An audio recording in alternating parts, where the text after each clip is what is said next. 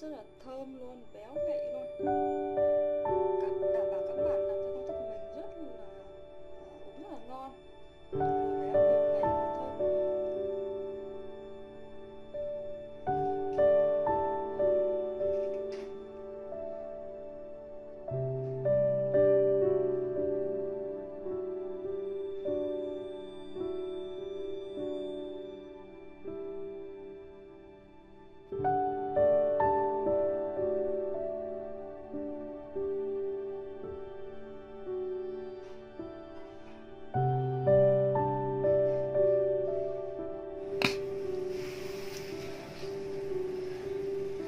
ẩm thực quanh ta xin chào tất cả các bạn nha. Hôm nay là thứ bảy chủ nhật nên nhà mình sẽ làm món ờ, sữa ngô để uống ạ.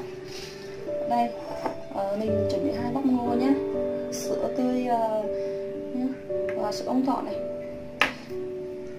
Bây giờ mình sẽ tiến hành làm mình gỡ cái hạt ngô ra khỏi bắp ngô nhé các bạn để rằng sữa ngô rất là tốt cho sức khỏe nhé các bạn nên ờ,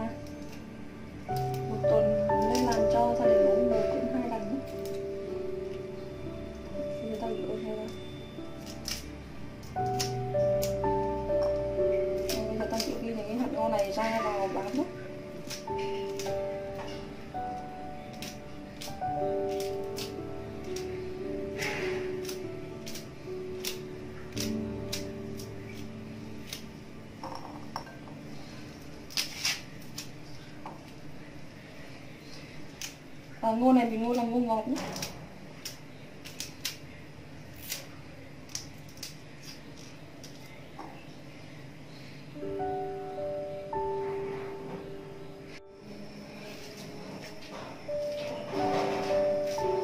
Đây các bạn nhé, ngô mình đã bỏ ra cồi nhé Và đây là cái cồi uh, ờ, cùi ngô. Cái cùi ngô này thì uh, cái uh, mình sẽ bỏ vào nước và mình để luộc để lấy nước nhé đó, rồi cho một nước này. Và ngồi mình cho một nước nhé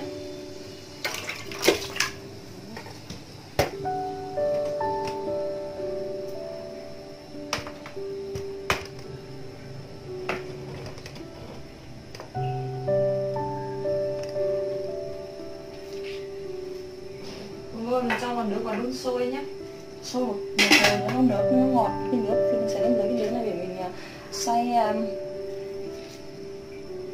xay ngô.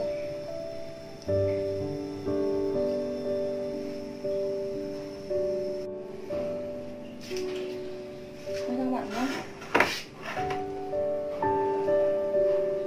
Ờ, à, cái ngô mình đã luộc này. Đây củ ngô mình luộc và mình lấy nước này mình sẽ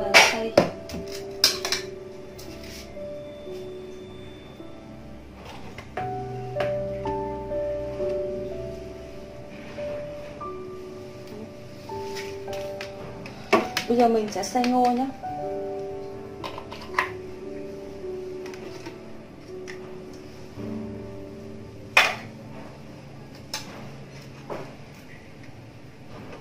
Để trong lúc vào xay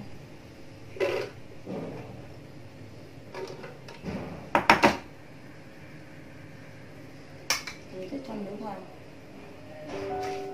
Mình mình ngô, mình của mình đọc nhé cái sữa ngô này thì nhà mình ờ, uống trong ngày không uống để qua ngày nên là mình chỉ làm ít thôi. Còn nếu như ai muốn để khoảng tầm 1 đến 2 ngày vào tủ lạnh á còn mát á, thì mình làm nhiều hơn nhé.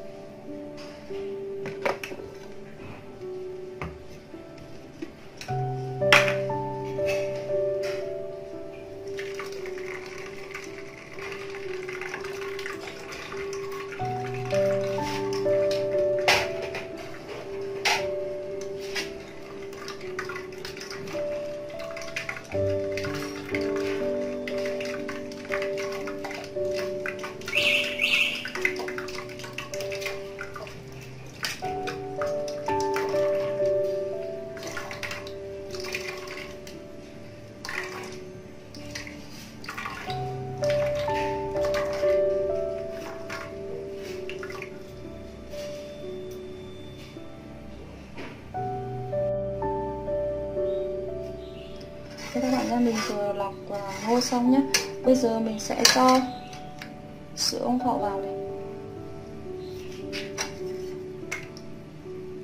Cái sữa ông thọ này thì uh, tùy nha mỗi người nhá. Ai cho nhiều cho thì tùy ở vì người thích ngọt người thích uống nhạt á thì ai thích ngọt thì mình cho nhiều hơn.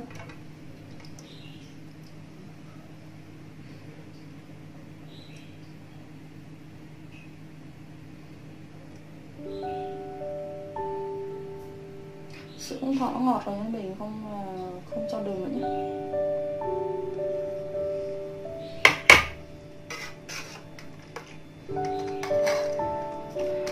bây giờ mình sẽ cho sữa tươi vào.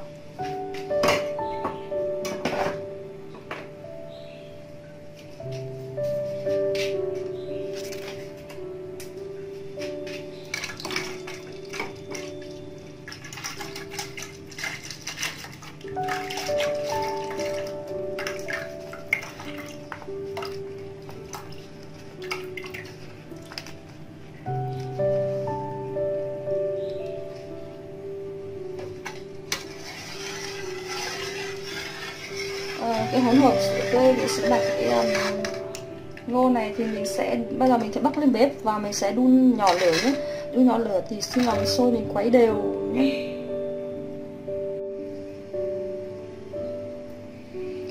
Các bạn nhé. Mình phải quấy khi mà nó sôi lên tăng thì mình phải quấy đều nhé. Quấy đều tay như này mình không để đứng một chỗ nó thì bị khê nó bị khê cái sữa đi nhé cái nhẹ và hơi nhỏ lửa nhé.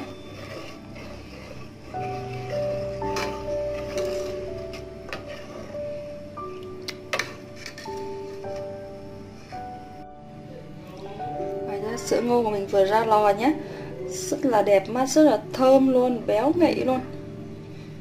Các Đảm bảo các bạn làm theo công thức của mình rất là à, uống rất là ngon. Vừa béo vừa ngậy vừa thơm.